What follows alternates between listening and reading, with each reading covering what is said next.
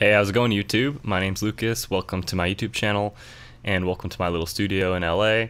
Today I'm going to be doing a video about a question that I got from a songwriter that I work with who's starting to use Ableton more. And sometimes when people send you stems, you want to import them into Ableton, and it can be a little tricky to figure out how to line them all up correctly. So I'm going to talk to you about that today. This will be just like a quick tip quick lesson. And I've been using Ableton for a really long time, so I'm super used to its little quirks and things. I think every software has its own like little quirks, so I've been using this one for a long time, so I, I can show you my workflow for doing this and avoiding any potential pitfalls. So let me know if you guys find this helpful or not. Uh, leave me a comment or something because I definitely like to see what you guys think and it will help me make uh, future videos and better videos. So here we go. We have Ableton. I have a folder of some stems that I'm going to be using for this demo. So we're just going to drag them in and it's trying to put them all on one track, which is not what I want because they're stems. I want them, if you just hold down command, it's going to disperse them to different tracks. That's an important key command to know. Okay, so here they are.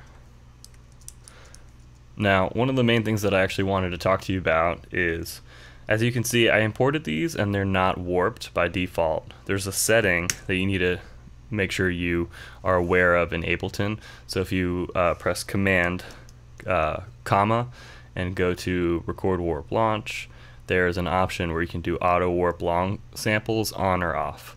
So I'm going to show you what it's like if you have that on. This is actually super useful and I'll find myself going between the two. But just so you understand how this works, this can, this can be really hard to wrap your head around if you're new to Ableton. So if I drag these in with the warp on, first of all, it'll take a little bit longer, and then all of a sudden, you're going to see some of them are shorter, some of them longer. You're like, what? Like, this is messed up, obviously. It's not what stems should look like when you import them.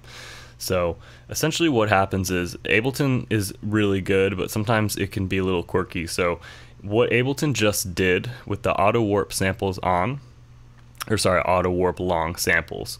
So basically Ableton is reading the audio files and trying to warp it. It's trying to adjust the timing to fit your tempo right here that you've decided in the tempo, uh, in, in, the tempo uh, uh, little menu right here.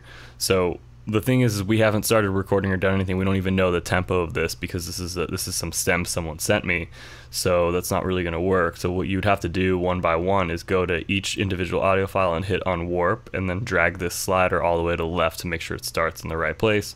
So I'm going to do all these individually. So this is what I used to do. And this is kind of time consuming. Luckily this for this demo I, I have stems that are, you know, not too many audio files, but if this was a, a big project, this would not be cool. Or if you, you know, were doing like a mixing session or something like that, this would take a long time. So that's what the process would be like. Now we have all these with the warp unchecked. And I can go ahead and enter whatever the tempo is. If you don't know what the tempo is, I actually have another video covering that, and I'll probably make more videos on that too, because that's a skill that you can build up. Uh, and Ableton over time is getting really good at, at um, putting in the right tempo when someone sends you a file and doesn't have the tempo uh, written down in the file name, but that's actually really useful if you're ever sharing files. I recommend just writing the tempo of the session, just write in the reference track because that's super helpful for production. But um, so here, now we're done, right? And I can I set the tempo to whatever it is. But I would recommend checking out this setting. And if you know you're importing a bunch of audio, turn off auto warp long sample. That way when you drag them in, it won't auto warp and then you can change the, the you can change the tempo and, and, get started on your session. So I just wanted to clear that up. So this is how you line up stems that people send you. In Ableton, importing is a little goofy, but it works really well once you wrap your head around it. You can also do do all this right straight from the browser too. You can add a folder. You can add like your downloads folder or whatever it is. But I just used Finder for this one. So let me know if this was helpful or not. And I'd love to hear some feedback. And I'll catch you guys in the next video. Take it easy.